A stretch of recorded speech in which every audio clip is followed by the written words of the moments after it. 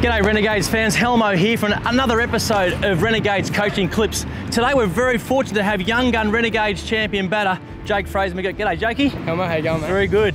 Hey Jakey, uh, the day before a game, um, what sort of things are you working on the nets just before you, you know, obviously play the game tomorrow? Yeah, so obviously just trying to keep still, trying to keep my head, you know, nice and balanced and and um, my swing hopefully looking good and, and everything feeling good, you know, just watching the ball getting a good rhythm. Batting in the middle order, uh, obviously, you had that opportunity this year and you've done really well. Uh, what are the challenges in walking out, uh, you know, at, at, number four and number five? Well, you could either walk out in the power play in the first power play, or you could either come in when you need 30 off, off 12 balls or something like that. So you, you never know. But um, yeah, it's just obviously trying to adapt to those game conditions and, and what we need, the run rates and all that stuff. So it's pretty hard for the first year, but I'm getting used to it. Yeah, so you're doing right. You and Mac have certainly had some great times out there together.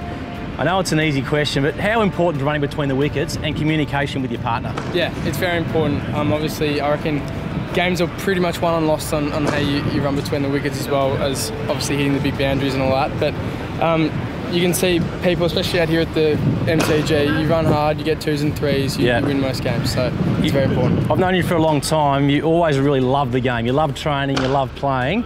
Uh, there's some young Renegades members out there who are watching you and uh, watching your journey. What would be one piece of advice that you could give to a youngster out there on, on how, how to approach their cricket? Just always love the game. Try and improve every every facet of your game. Fielding, and most importantly, bowling. Even if you're not a bowler, just try and get bowling. Try and do all three things. You're bowling more, aren't you? Yeah, I'm bowling a lot more as well. you got an over last game. yeah. but yeah, no, just keep doing all three facets of the game and, and try and be as best as you can be. Excellent, Jakey. Thanks for your time, mate. Hope the net goes well and good luck in the last game tomorrow. Thanks, Renegades. See you soon.